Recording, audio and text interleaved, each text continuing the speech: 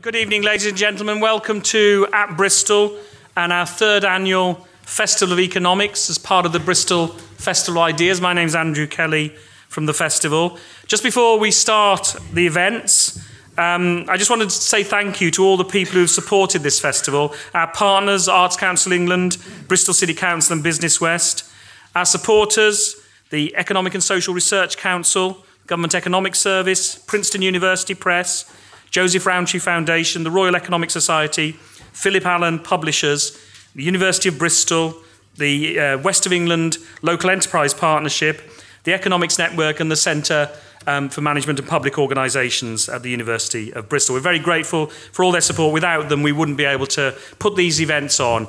Um, so um, we do appreciate what they do for us. Um, we've um, delighted with the turnout and the ticket sales for this. So thank you very much. And we'll start uh, in a moment. But one further thank you, which is that this festival, we normally program the festival events ourselves. This festival is programmed by Diane Coyle. And without her, we wouldn't simply be able to do this festival. So, as well as joining with me in welcoming Izabella Kaminska, who's going to be chairing this first session and introducing John Lanchester, if you'll join with me in thanking our speakers, the sponsors, and Diane Coyle, I'd be very much grateful. Thank you very much. Good evening, everyone. Um, so I'm Izabella Kaminska. I'm from the Financial Times. Um, I work on the FT Alphaville blog, where I spend a, a large part of my day trying to understand what all these banking types um, are really saying.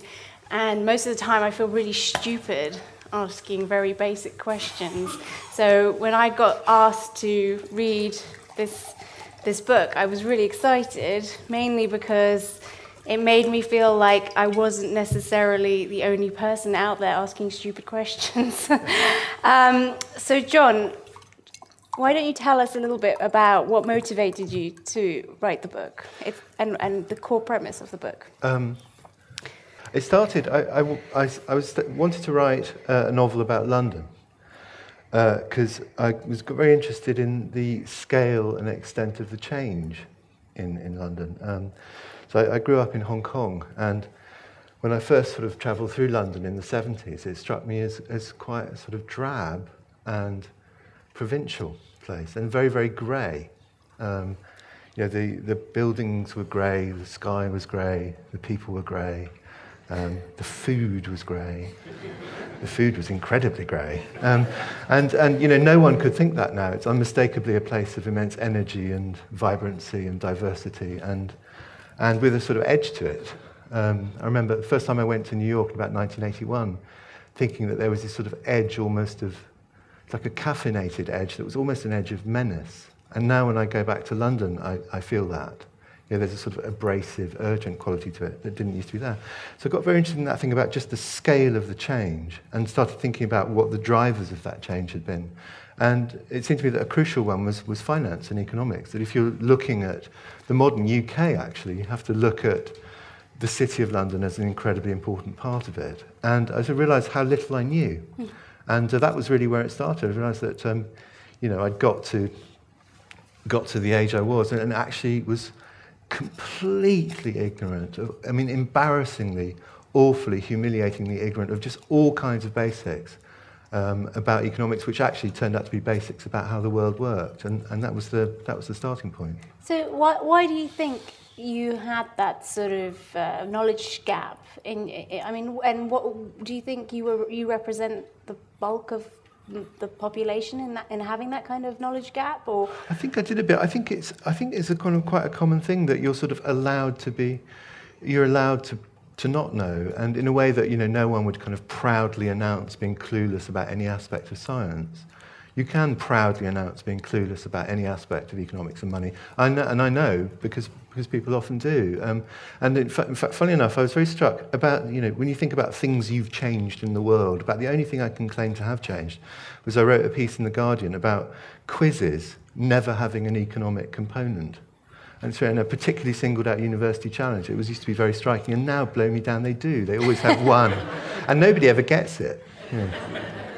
So, part of the problem, uh, you know, borrowing on my own experience, I think is that banking and finance comes across as extremely boring, sterile, uh, jargon heavy, and these terms are just very alienating. You're, you spend a lot of the book sort of theorizing about why it is these bankers choose very purposefully to use these alienating terms. Tell me a little bit about what you think is going on there. And, and my, my first book was about a, a psychopathic foodie snob uh, an incredibly obnoxious person who also turns out to be a serial murderer. Kills nine, and ten, nine, nine or ten people he kills off. And the question I was most often asked was, is it autobiographical? and you know, to this day I haven't got the answer straight there. And, and with this one, the thing that keeps coming up, so I talk about jargon the way you have, and the question people want answered is, is it, do they do it, do they do it on purpose? It keeps coming around to that. And, and the truthful answer, I think, what I think I think about that, is that actually it doesn't really matter. You know, the question of intent is sort of insoluble, and, and the, the main thing is, is, the, is the consequence, you know, from the point of view of the, the person listening the excluded party, the party on the outside, the party overhearing it. If someone is talking about you know, super synthetic CDSs made of synthetic CDOs based on RMBS, which by the way was a real thing in the credit crunch, doesn't matter if that person is deliberately trying to bamboozle you or, or not. I mean, the, the net effect is, is that you're kind of structurally excluded and you just can't take part in the conversation. Now, those are, you know, those super synthetic CDSs and CDOs are very complicated and it's quite helpful for people who deal in them to have the, have the jargon. Um, but at the same time, there is a kind of structural process of exclusion. Right, so it's a sort of unwitting club because... We, I, don't, I mean, you probably know more than I do, because when we were talking before about that, you think there quite often is an element of intent and... Yeah, I, I think it's sort of, it, in, it depends which industry um, you look at, uh, but I definitely have come across uh, purposeful kind of this word that I never can pronounce, obfuscation. Yeah. Um, especially when it comes to derivatives and uh, anything to do with shadow banking or regulatory arbitrage. These are all these fantastically exciting terms that basically mean not doing what the you know what the authorities want you to do. Um, but um, I think it's also partly unwitting, and it's about creating a club, and and it's shorthand at the end of the day because these are it's shorthand that makes you want to think. These are complex ideas that need shorthand. But what I found very interesting, I think your book really shows this very well, is that most of the time, the illusion is complexity. But in reality, when you open the box, the basics are the same everywhere. There's only a few fundamental things that humans are really capable of doing. I mean, it's behavioral. We, we just can't do more than a few actions. So it's very hard for, um, it, it's very hard to be too complicated. Um, and, you know, you, you make a, in the book, you open up with the analogy of Jack Nicholson. Um, I thought that was really good. You, you'll be familiar with the with a few good men, in which like Jack Nicholson is like uh, having a bit of a rant because he's been exposed as doing something bad, and it's all because you can't handle the truth, and us poor people are on the outside and we don't. You know, it's almost like um, you don't want to know, and we'll keep it. We'll keep it in the club because it's just too complicated for you. But really, we know it's not. Do you think that's? Yeah, I mean, I, th- I think there is a sense, particularly in the political class, that, that, that, if, we t- if they're too candid about the economic realities, that it's effectively a sense that you know we can't handle the truth. We don't actually want to know um, the you know the realities of the economic position. And I think there is an element of you know. Well, I mean, having said that, intent doesn't matter. I, I, think there's sometimes things where you can kind of catch it. And I, uh, one of the things that stands out for me is quantitative easing. And the thing about that is it is a really suspiciously neutral, A, it's suspiciously neutral. I always think it sounds like a brand of laxative. Know, it's trying to, what do you think about, uh, what do you think about quantitative easing? I don't know, my nan said just stick to a bowl of prunes. Know. Um, and it, and it certainly doesn't tell you what it is, which is a radical experimental new technique for governments to print money without admitting that that's what they're doing. And you, you, when you see things at the kind of central bank level, I was very struck with Mario, Mario Draghi, who runs the ECB, European Central Bank. You can't even say who he is without using jargon. Um, and he's talking about the ECB announcing a program of ECB not doing full QE, instead they were doing a program of ABS, buying asset-backed securities. Uh, and, and then he kept saying with detailed modalities to follow. He said it so often, it was like a mantra. It's like one of those Buddhist things where you can feel yourself starting to levitate. And you get detailed modalities, detailed modalities. And you know, the thing about saying detailed modalities as a follow, what he actually means is, we'll tell you later how we're going to do it. That's what that means in English. We'll tell you, you know, how we're going to do it.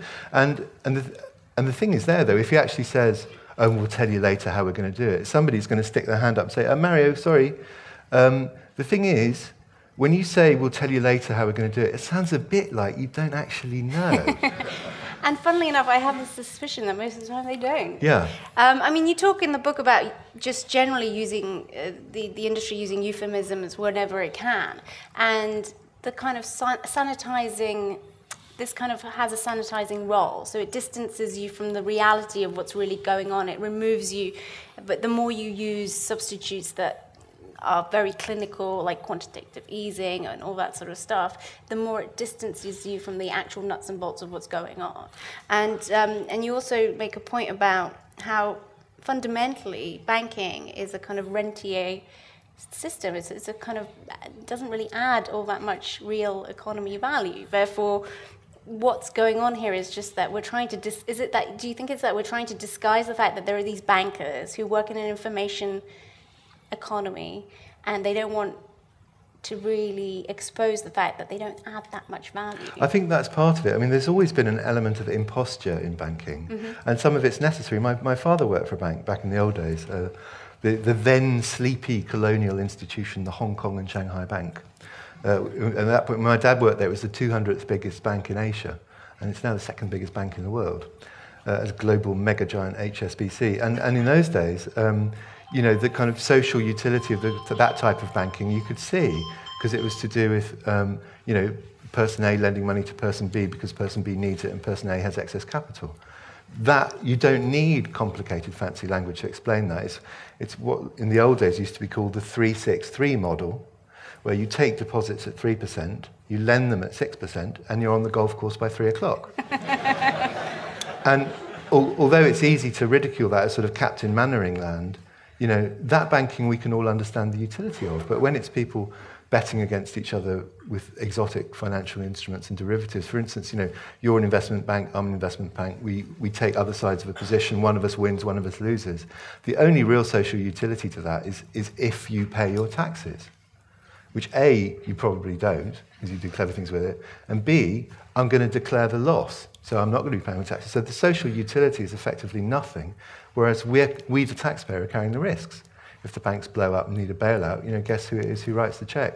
So you, you would try and, you know, uh, obfuscate that uh, as much as you can, and you would throw as much of a veil over it as you possibly could. I mean, I think the other, the other use of language inside the business is a thing I hadn't thought about actually till someone came up to me after a, a talk in New York, and he said that um, he said there was something that I hadn't thought about, happen, which is to do with the effect of um, dissociation, that helping people who make these decisions switch off. And he, he works in leveraged buyout, which is basically, it's like with Manchester United, it's like using Manchester United to take itself over by borrowing money against it. That was a classic leveraged buyout. And he, and he said he and his colleagues were looking at some paperwork and they were going through the numbers. And they were talking about the churn, which was the turnover of of costs associated with particular customers. And they were looking, they've been looking at these numbers for about an hour, and then he suddenly sort of had one of those moments where you kind of snap out of it and think about what he was actually doing. And because the business whose numbers they were looking at was a residential care home, and the churn was people dying. And, and he said that actually, you know, the language is very important at that thing of just sort of having some of your, some of your thoughts and feelings just turned to off so yeah, there's this sanitizing. It sanitizes the reality, and that reminds me a lot of what we've seen maybe in the language of war as well. You know how shell shock has become post-traumatic, you know, syndrome or whatever. I don't even know yeah. the correct term nowadays. So it goes from something very understandable. You know what shell shock is, but you don't really know I mean, it becomes cl- more clinical. Yeah. I mean, you make a point. You, you bring up a in that capacity. You, you, one of your um, you unpack the term right sizing, which I thought was a great one in terms of what does it mean. Yeah, we're sacking people, but lots of things. Would you right sizing? But there's a funny thing Americans perceive our preferred term for it as incredibly shocking. They have all these euphemisms. But uh, in American English, redundancy is incredibly shocking because it's basically like going up to say someone and saying, "By the way, we love you, but you're a totally worthless human being. You're redundant. You have no use or function." Uh, and so lots of them are, are, kind of bizarre and jolting. Downsourcing, outsizing, as you say, right sizing has something particularly terrible about it. there is a right size for this organisation. It just doesn't include you. Goodbye. um, I mean, I, I still think like one of the most I learned about banking, really. Um, and I, I, think the one thing that really made me understand it more than anything else is, um, and I have Walt Disney to thank for this, is Mary Poppins. Mm. Um, because it, that's, that tells the story, doesn't it? I have a banker friend who recommends it actually, and he, who's, whose children, as they've got older, uh, as they've got to the right age, he makes them read Mary Poppins so they understand what Daddy does. You know, it strikes as quite a sort of uh, striking way of doing it. I've forgotten, what, I've forgotten what it is that brings the bank down. Oh, he, he wants to feed the birds rather than uh, invest in the bank and in railways in China and well, railways in wherever. there's some there's some bubble type thing that he doesn't want to invest in. Yeah, that's right. And then there's a run on the bank, and he, yeah. it turns out he was right all along. Yeah, exactly. And then Mr. Banks has to quit. Yeah. But in uh, fact, you know, you can learn about all the about the fundamentals of banking basically from you know bit of Mary Poppins, and, and then there's a, a very good Arthur Hailey novel. Arthur Hailey novel. Arthur Hailey, who I think is now largely unread, but he wrote these, he did one business at a time. He did one about hotels, uh, and he did one about a cruise liner. He did one about airplanes, and they used to be made into these big budget, rather schlocky films. And there's always a huge cast, and there's always some disaster or scare or scandal. Uh, and he did a banking one that's actually really, really informative. And there's a bank run in it. I remember um, finding out, you know, that was the first time I ever heard of what a bank run, bank run was. Um, it came in quite handy when Northern Rock imploded. Yeah, and we and, and then let's not forget the classic, A Wonderful Life, that really does, yeah. does pin it down. Um, but going back to the terms, let's look at some of the actual terms, because some of them, when I started writing um, about finance, I was at Reuters, I, I was a graduate trainee, and you get sort of thrust into the um, you know into the thick of it without much training. That's how they they just make you go for it, and you immediately have to call all these very obnoxious traders, and they start tell, using all these phrases that you just have no idea what what they are. And um, I'll never forget. Um, the two terms that really confused me at that time was people talking about things being bullish and bearish. I was like, what, what, what, what? um, you mentioned these terms in the book. Where, I mean, what why? I've Why tried, bear? Why I've bull? tried looking into bullish and bearish, um, and nobody seems to. I mean, nobody knows. That's the truth. But but one of the best theories is that it's to do with the horns that go up. Uh-huh. Because a bull, a bull market is when you think things are going up, uh-huh. and, and bears when they attack they go like that, so it goes down, goes downwards. But you know, nobody really knows. The odd thing, though, is that um, if you, because I've had farmers in my family in, in Ireland, and bulls are terrifying things. Yeah. Bulls are scary, unpredictable, and have a sort of natural aggression and violence in them. So it's sort of a bit ironic, really, that they turned into, hey, it's bullish.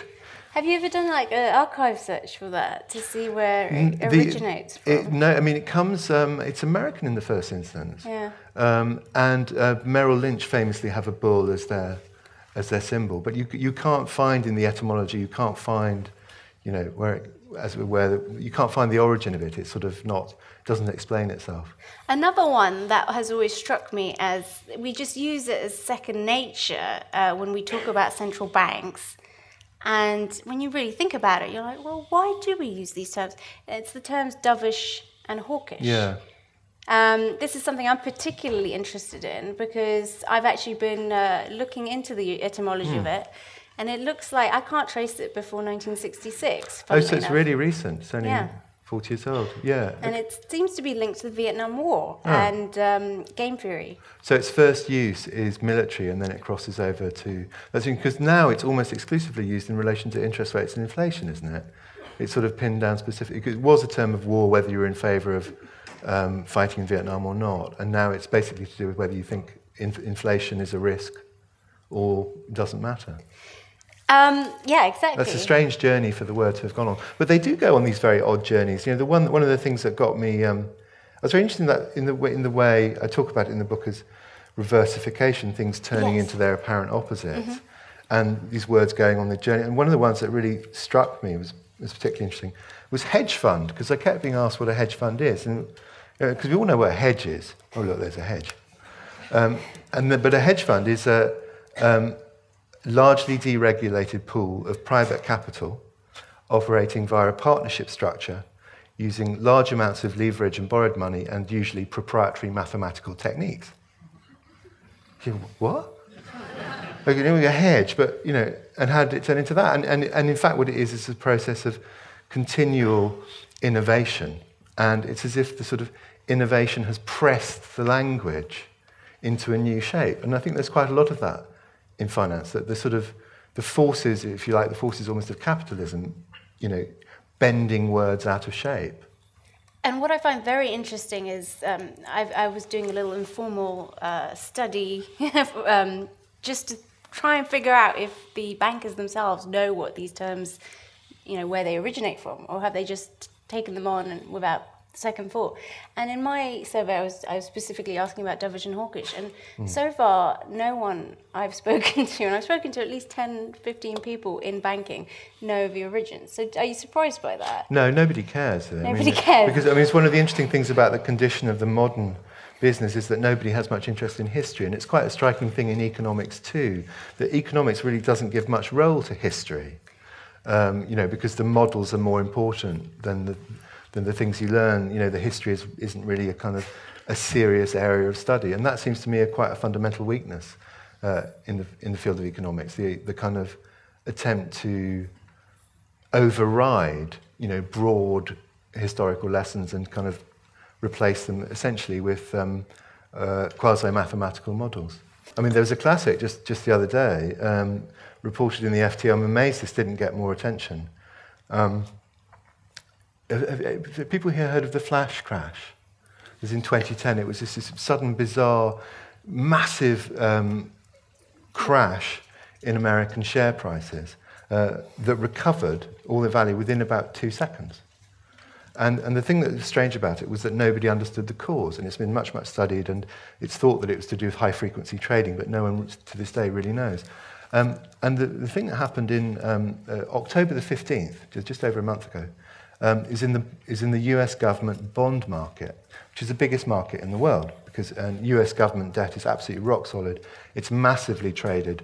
Prices hardly move in, in, in a sharp way because you have basically someone willing to buy and someone willing to sell all the time, just at very slightly different prices.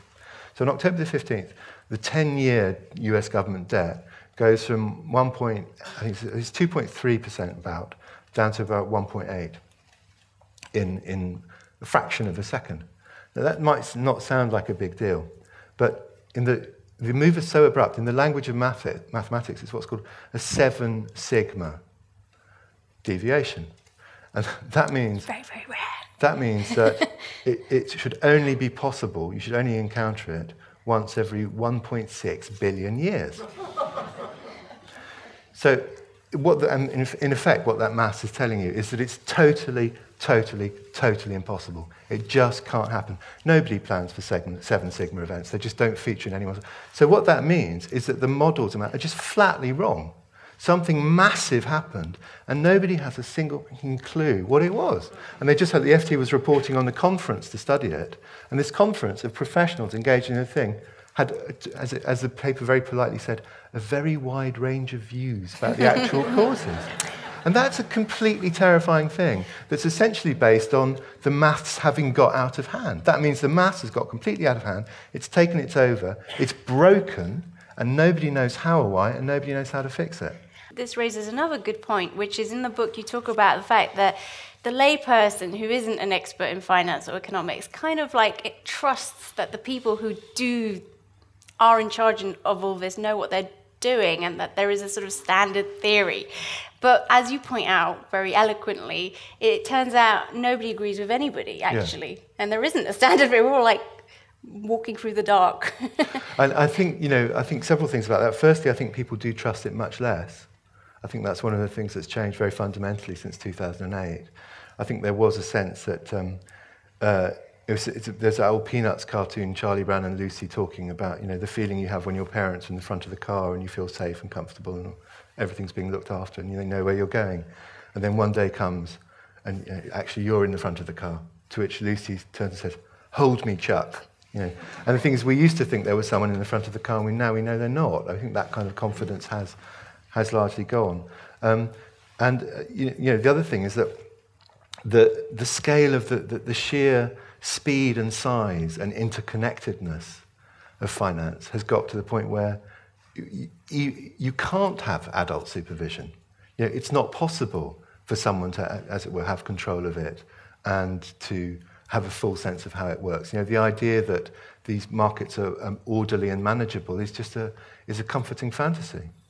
But it's one that's very much propagated to the public, I think, no? Yeah, and it's one, but it's one of the things where there's a big, big gap between, you know, I notice a, a, striking gap between how worried insiders are in private and the way it all seems in public. You know, to go back to the thing my dad used to say, you say, you know, the reason banks look so imposing and so sort of, you know, intimidating, you're, you're supposed to be on your best behavior and this huge, you know, marble and granite and, uh, you know, this air of, you know, we're here forever, don't worry is because they're inherently very fragile, very risky institutions. Which is a bit like how propaganda cults work as well. Nice big pictures of Lenin. you know, we're imposing, we're here for the long term.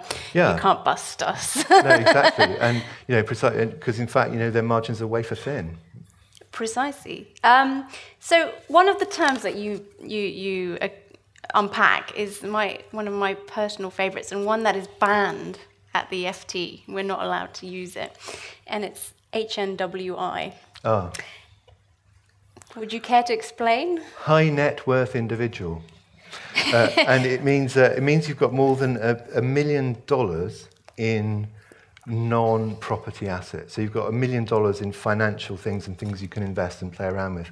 And the, the financial services industry likes it because it means you've got money to invest and for them to charge fees on. From our perspective, um, there's always, you know, there. Are, it, I imagine most newspapers have the same sort of um, pol policing authorities when it comes to what what terms you can and cannot use. Um, we're always taught you, you, just have to say rich. It's the rich. Unpack it to, to the point.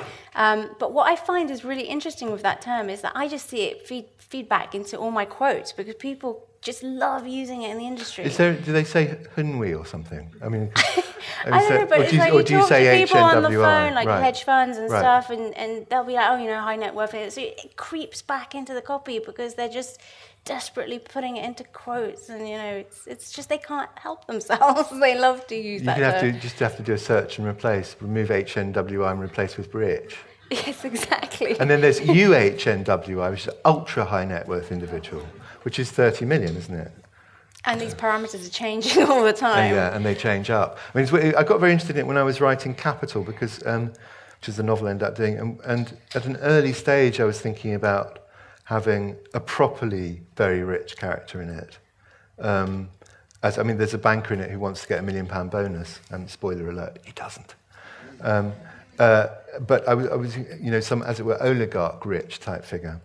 Um, but as I sort of researched it more and I got interested in the ultra high net worth stuff and also in something else that's in the book, it's called the Forbes Cost of Living Extremely Well Index, which is the things that incredibly rich people spend their money on, which is very, very, in a dark way, it's very funny. It's things like yacht hire, um, uh, a year's jet. tuition at Harvard, private jets, fur coats, Rolexes, all that.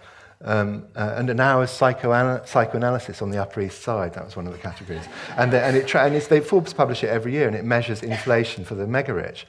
Um, so I got interested in it, and I realized that you, I couldn't put that character in the novel because the novel is all about how people's lives overlap with each other. And the, the UHNWIs, their lives don't. That's mainly what they use the money for, is for a kind of insulation, that they, they very precisely don't want to be in the world among us and occupying the same sorts of spaces. Um, so that's my, my interest in that field came from the book, but actually I couldn't, I mean, in a way that I thought was actually humanly quite interesting, that person would, didn't belong in a novel with, as it were, normal people. It just couldn't be squeezed in. I mean, it's interesting because this is fundamentally a book about terminologies, but you do focus on the i mean you, you, definitely get the impression that you have a message here about inequality and what what is your your particular take on it i mean the thing about inequality is that you can have as it were a right wing version of it which is you know wayne rooney's better at football than i am apparently um, so you know he's a gazillionaire and i'm not and that's fine you know that's as it were benign inequality um, that the more talented do better the thing that um, is, I think, the real challenge to that. It's a real challenge across where, whatever your politics are, is that it's increasingly obvious that societies with high levels of inequality have high levels of heritability as well. That the more unequal your society, the more fully you just inherit your life chances from your parents. So a baby's born, whacked on the backside, and with its first breath, draws in its future income prospects, its future educational level, even its life expectancy, just set for life in one breath. And I think we can all see, even if we can argue about what we mean by fairness and, and, a, and a more equal society, we can all instinctively see that that's unfair. That's a route we don't want to travel down. Um, so I do, I feel very strongly about that, and I feel that's a thing that we have to kind of, um, in order to avert the prospect of that being our future, we very much have to sort of look it in the eye and accept that that's the direction we're, we're traveling in now. I mean, the other thing I'd say, by the way, which is a more, more positive thing, and it's also a strange and weird thing, is that societies, pretty much every society that's um, gathering data is growing more unequal at the top. I mean, there's a funny thing in Britain at the moment because of the credit crunch that some of the indexes of inequality are actually going down, but at the top, people are doing better and kind of striding away from the rest. Um, but the funny thing is that as societies grow more unequal, the, the world is actually growing closer together. And there's this very, you know, uh, the, the, the UN's targets for the Millennium Development Goals, which are targets for 2015, um, you know, things like halving the number of people living in absolute poverty. Uh, we've achieved that. We're ahead of schedule. In, in 1980, 50% of the world's population was living on less than a, a dollar a day. And now it's just under 20%, on $1.25 a day. That's material progress of a sort that's completely unprecedented in human history. It's more than the Industrial Revolution. And, and it's astonishing that, you know, we're not talking about a small country of a few million people. We're not talking about Denmark or Ireland doing better. We're talking about billions and billions of people having fundamentally different life chances. Which is an astonishing thing. Um, uh, child infant mortality is another one. Um, you remember there used to be those ads where Bono would click, you know, all these the celebs would click their fingers and, and look solemnly into the camera and say, Every time I click my fingers, a child dies. You know, famously prompting someone in Ireland to shout at Bono, says, Stop fecking doing it then. and, and, um, but, you know, but the thing about that is you could now click your fingers every, every six seconds for a child's life saved. It's, it's uh, 16,000 children a day, 6 million children's lives a year being saved compared to 20 years ago, which is an astonishing thing. And so what's, hap- what's happening is that countries are growing closer together and societies are growing further apart. And it's a really, you can't sort of put, put the slogan on a t-shirt and go march about it because it's, it's a complicated thing. It's very hard to get your, your head round. But it, it, and I think it's, I suspect it's probably unprecedented in human history. So we're living through this moment of increasing equality and increasing inequality at the same time. I want to just touch on a couple of terms that I think are worth um, exploring just because they're fun. so, one of the ones talking about inequality and the indicators of how we're doing is this term, the hot waitress index. Yeah. Which I love. I, mean, I hadn't actually come across it until I read the book. What? The hot. I was trying to get something that I was trying to get something that had a, fla- a flavour of how traders and people talk. Yeah. Uh, and so I put the hot waitress index in, which is grossly offensive and sexist term, which I highly recommend no one ever using. Uh, and it's the idea, it's one of the, there are lots and lots of these fanciful things about pr- predicting the state of the economy by things like, I mean, you know, you look out the window and you count how many cranes there are, and that tells you if there's more cranes, the economy is doing well. Duh. Um, or, you know, it's harder to get a taxi. Again, duh. You know, they're all thumpingly obvious. And the hot waitress index, the, uh, the idea is that there are higher paying jobs further up the economy for, you know, as it were, actresses and models in good times, But when times are bad, the people who would be working as actresses and models and doing what uh, Lena Dunham in Girls calls pretty girl jobs instead of working as waitresses. So the idea is that it's a kind of slightly leading indicator of the way the economy is going. So if your barista's pretty hot, it's not so good for Not one at a time, but in aggregate. In aggregate, If okay. you see like 10 in a row, that's, that's, it means sell, sell, sell. And the other term that I think is just worth, it's one of my favorite terms, um, which took me a while to get my head round, is this the term shadow banks. Oh, yeah. And because you're talking about new inequality and, and asymmetry, and I think a lot of this is about information asymmetry, and shadow banks, I think, epitomizes that asymmetry really well. What on earth is shadow banking? It's, um, you know, uh, credit card companies, uh, debt, uh, payday loans, uh, all kinds of insurance that involves banks swapping things backwards and forwards. And as I say, uh, the thing about all these institutions is that because they don't take customer deposits the way normal banks do, they're much more lightly regulated. The system is interlocking, at many points deliberately opaque, and almost impossible to understand in granular detail, even to the best brief financial insiders. And one of the weird things is no one actually knows how big it is. No one knew how it played a huge role in the credit crunch, and no one had been thinking about it before. And the, the current guess, the Bank of England's best guess, is that the shadow system is $67 trillion, which is the same size as the GDP of planet Earth. And it's not regulated, it's you know, in the same way, and it's largely invisible and deliberately opaque, and it's incredibly tightly linked with itself. So all the stuff we do about regulating banks, arguably, is just like you know, splashing around in the bath compared to the thing that could be the source of the next problem. Which leads me to my concluding point before we take some questions. Given that we've spent so much time trying to regulate the banks um, and try to get them to behave in an admirable way, um, this shadow banking thing is, is now becoming a bit uncontrollable. It's like whack a mole. You, you regulate Yeah. them here and then pops up over here, and there's and it's bleeding into the technology space. So now you've got these technology companies and platforms and Googles and Apple Pays and and all sorts of how how do you think and they're not regulated. They don't have banking licenses. One of the various ironies is that you know um, regulation to some extent protects the banks because it makes it harder for incumbents to start. I think most of us would, would want some form of disrupt, disruption to come, particularly to the you know our deeply unloved high street banks. I remember asking um, a friend in the in the business what he thought of you know how well run our house our high street banks are. He had a drink which he put down. He says, "They are mere burdens on the earth."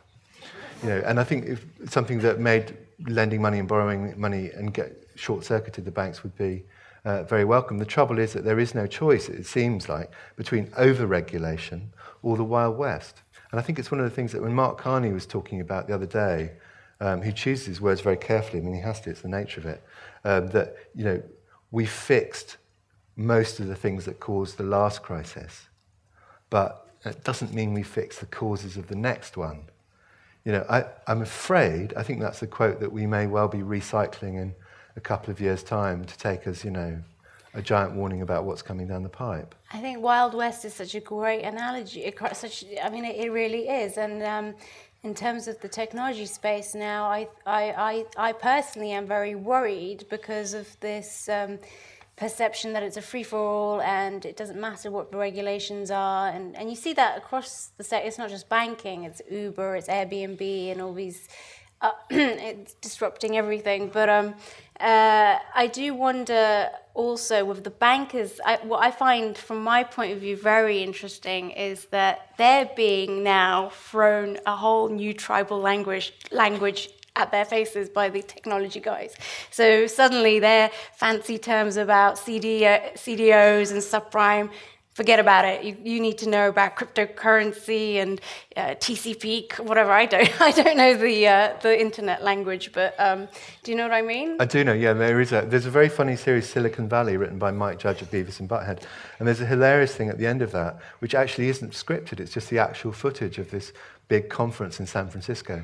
And, and he just cuts to, between every time people saying, we're social, local, and mobile. And then the next people, we're solo mo. And then the people after, we're molo so, but in that order, you know, and it's just one after the other. Yeah, there is a whole, you know, the new jargons. I mean, it's one of the things about jargon is that there are new ones coming along absolutely all the time. Destined to repeat, or it's cyclical. Keep, we just keep going and, and, going and, disrupt, going. by the way, is one of the ones I regret. You know, I, I could have, I should, I could, should, and will in future do a thing on disrupt because that's you know, if, if I could just, if there's just like one term I could ban at the moment, it would be, in the world of arts and books and writing and all that, it would be curate.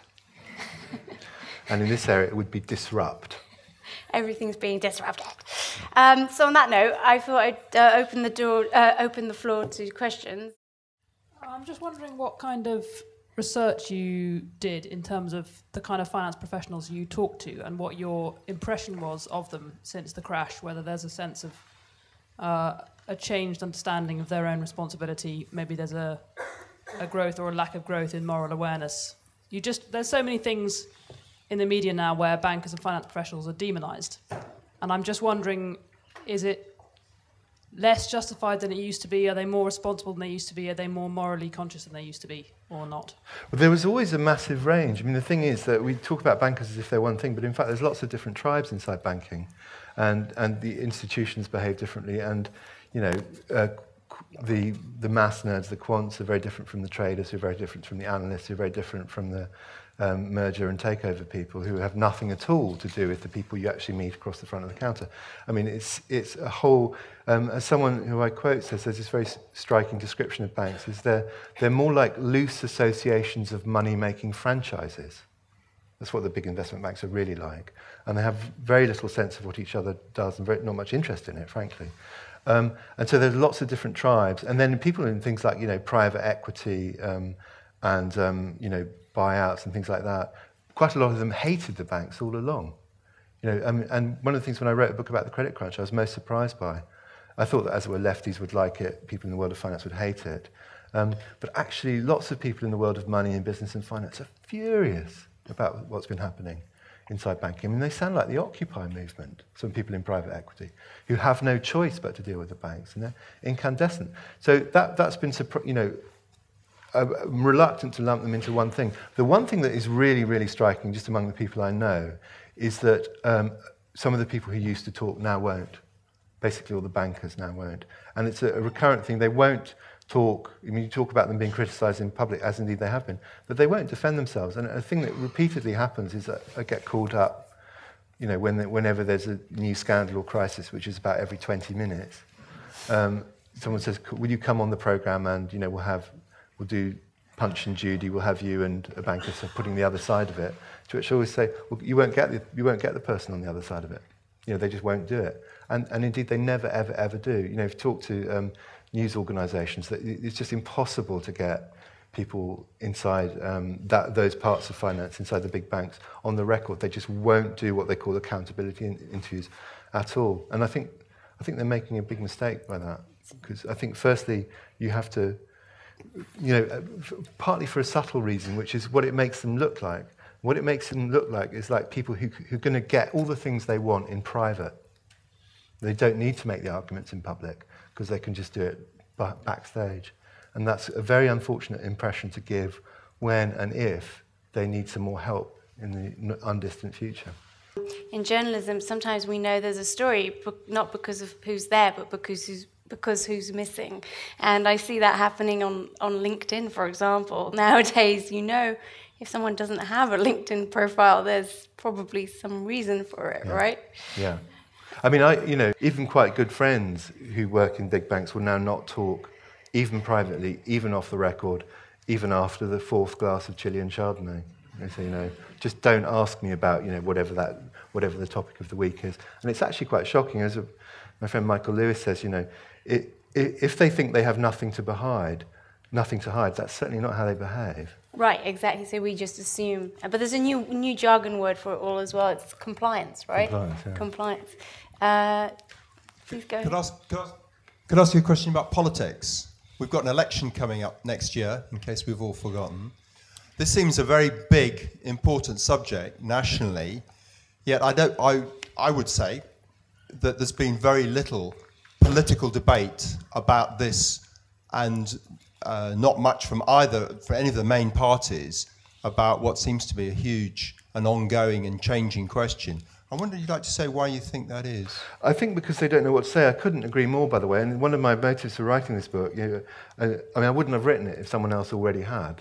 Um, and, and I really feel strongly about the need to kind of get people engaged with the subjects. It's really, really important. It's actually fundamental to the way democracy works. Democracy implies an informed electorate. Otherwise, you might as well go in just make random marks on the paper depending on how you feel that day.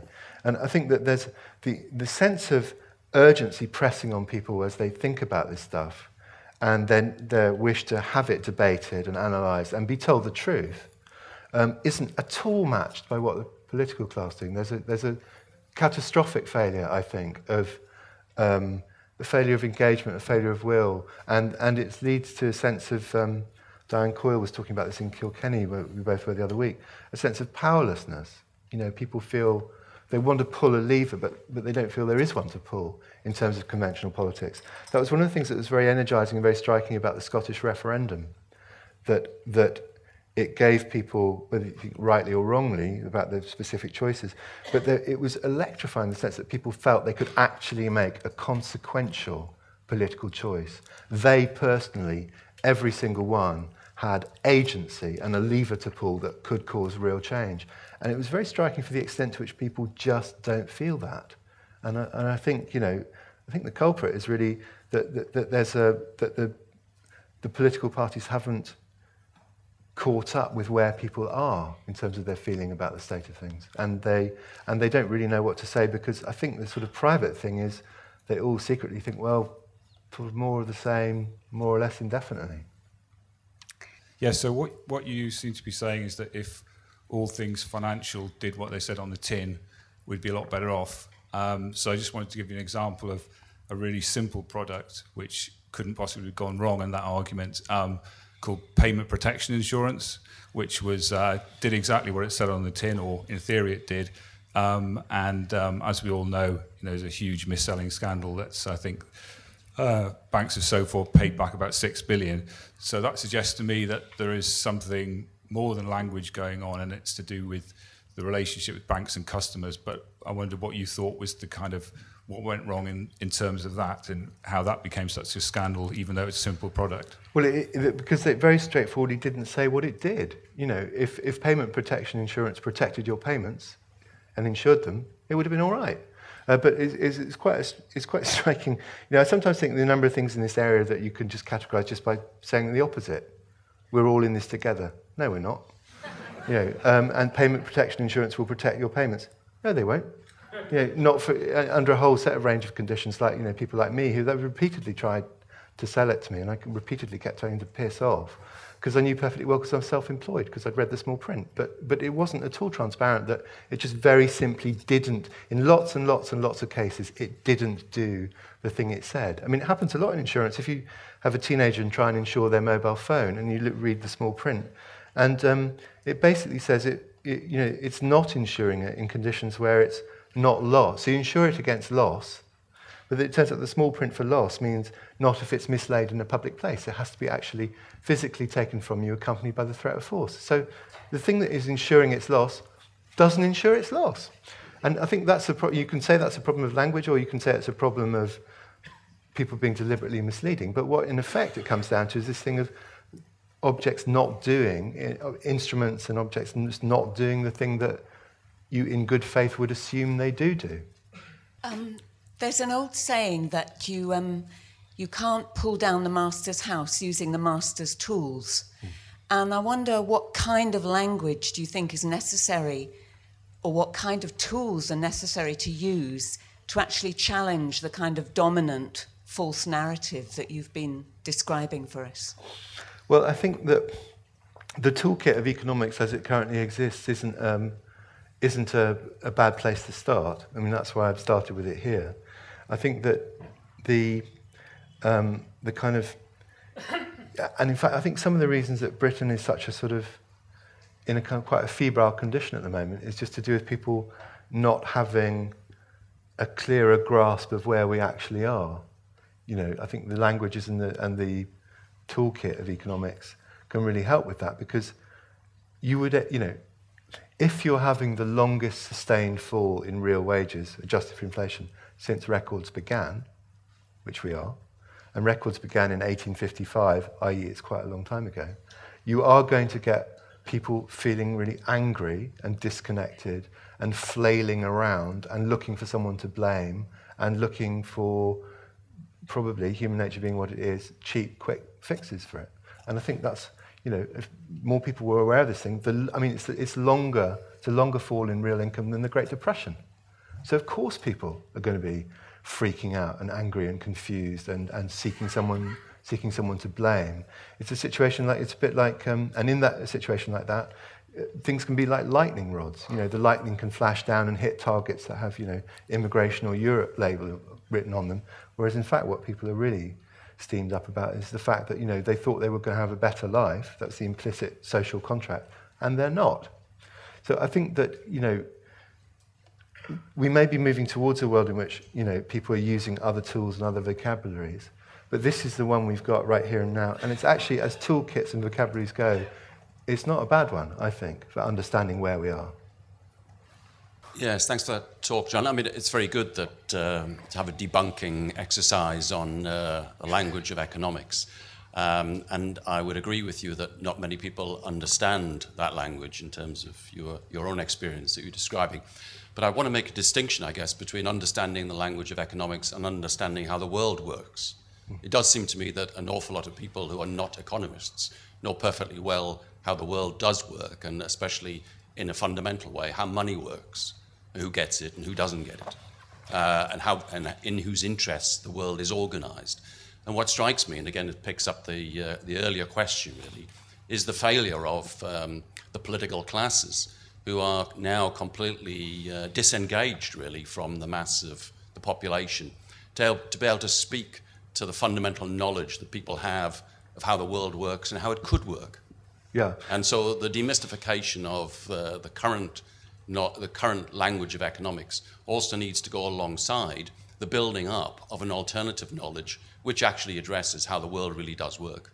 No, I agree with that, but I think that the tool that, that you know we are tool using animals, and I think that the toolkit is a very useful one. I think one of the reasons that that, that Thomas Piketty's book struck Capital in the 21st Century struck such an astonishing chord uh, all around the English-speaking world, uh, that interestingly not in France, where it wasn't the bestseller, uh, was that um, you know Piketty put hard numerical data on a thing that we could all feel was true. We, we all sort of knew this thing about the people at the top getting further and further away, but actually having a really substantial body of empirical evidence to, you know, you, you, you can't evade it. There the data are. It's very clear what they say. I think that does have an impact on the debate. You know, it makes it less into a thing about, you know, oh, moan, lefties moaning because, we, you know, we would say that, and more into a thing that just, just stands out really clear in the data. You know, that the, um, the 1% or arguably more of a problem than 0.1 just are having a bigger slice of the cake than ever historically before.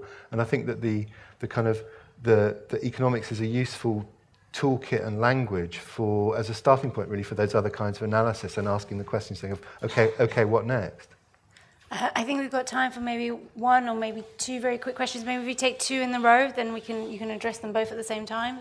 John, I've, I've just been puzzling for a few minutes over something you said earlier um, about when the bankers might need help. Because yeah. I don't understand that. Because I mean, the story that I hear, um, maybe a bit simplistically, is that um, there's nothing we can do about the bankers. Uh, they'll get away with it because if we try and do anything, they'll bring the whole, the whole house of cards down on top of us all. So I'm a bit mystified as to how they could possibly need help. And if we could take the second question. Yeah, you started this discussion uh, talking about how uh, breaking into finance is difficult with the jargon and, and it's difficult for people to understand. But the mechanisms of, uh, of how finance work, uh, it's important that people do understand it. I was wondering if you have any insights on the, the range of tools or the range of ways that um, we can educate people on the mechanics of how finance actually works. Well, take the second one first. I have a bibliography in the book, and actually there are a lot of good tools um, uh, once you get through this problem of you know basic literacy. I mean, I'm, maybe I'm a writer, so I would say this, but I do think the vocabulary is the place to start because if you don't follow the vocabulary, you, you know, there's a very basic and literal way in which you literally don't know what people are talking about. But once you get over that, there's lots of good commentary. Um, it's one of the areas where the internet is very good, actually, economics. There's lots of both raw data and very good, you know, wide range of views from all sorts of difficult political perspectives. And, you know, as I said once or twice before, that, you know, one of my ambitions for the book is just that people can read the FT. You know, if you can read the FT, you don't need to read my book. Because, and the, the level of debate in it is actually, I think, really interesting, especially as a place, a place to start. I mean, the tools are there. People just need to pick them up. On the thing about the banks needing help, it's just that, you know, that they're in quite a fragile condition, that they're, um, they're trying to address this about what they call the leverage ratio, which is basically the amount the multiple they have of debt to how much they actually own. Um, but some of these big banks are in astonishingly fragile institutions. I mean, the Deutsche Bank is, is trying to fix it now. They've uh, a campaign to address it. But uh, a couple of years ago, uh, they're the biggest bank in the world. They're, they're much bigger than the UK, entire UK economy. And they had a margin of 2%, which means that 2% of their investments go wrong. The biggest bank in the world is broke. And, and that, that's what I mean by, by needing help. And Mark Carney was, was talking about this package of programs to try and address it and have more of a margin of error. But, you know, they're still inherently in quite a fragile condition. And I think the thing that will happen, you know, they got their bailout, which they needed, and then we didn't have any of the reforms we should have had to make it sort of safer and more, more useful from our point of view and to separate the casino-like activities from the stuff that, for which, which actually helps us, which we need. And uh, all that, those things are going to come, I suspect, uh, after the crisis that lots and lots of inf- insiders think is, um, is coming in the not too distant future. And you know, it'll be an example, there's an old saying that a crisis is a terrible thing to waste. And in, and in effect, the 2008-9, we, we all across the developed world um, w- wasted the crisis for an opportunity to properly reform the way finance works. Thank you very much. I think we've run out of time. Unfortunately, we could talk about it forever. but thank you. Thank, thank you. you. Thank you very much.